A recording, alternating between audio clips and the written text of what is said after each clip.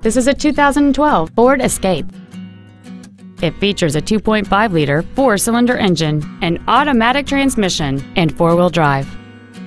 Its top features include heated front seats, a low tire pressure indicator, Sirius satellite radio, aluminum wheels, and traction control and stability control systems.